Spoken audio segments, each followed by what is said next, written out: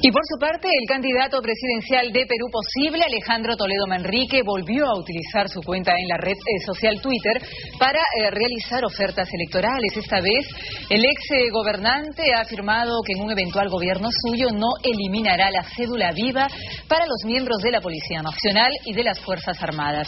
El ex jefe de Estado peruano aseguró que su agrupación estudiará la manera de otorgarle a los uniformados una remuneración justa y sin discriminación.